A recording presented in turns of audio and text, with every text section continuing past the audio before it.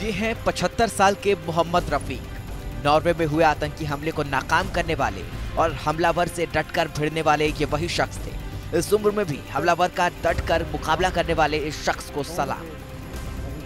He put the finger inside my eye up to here full finger inside my eye and then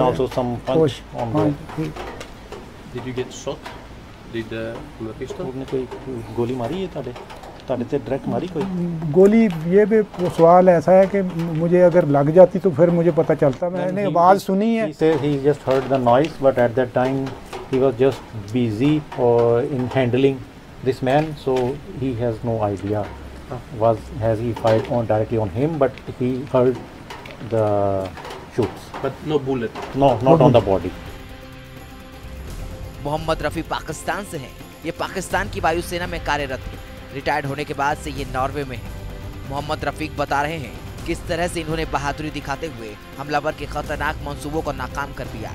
इन्हीं की जुबानी सुन के ये बता रहे हैं पूरे वाक्य को, कि कैसे हमलावर ने इनकी आँख को चोट पहुंचाई, फिर भी ये उस हमलावर को कस कर पकड़े रहे। नॉर्वे पुलिस के आने तक इन्होंने उस हमलावर को किसी को ज़्यादा नुकसान नहीं पहुँचाने दिया। He put the finger inside my eye up to here. Full finger inside my eye.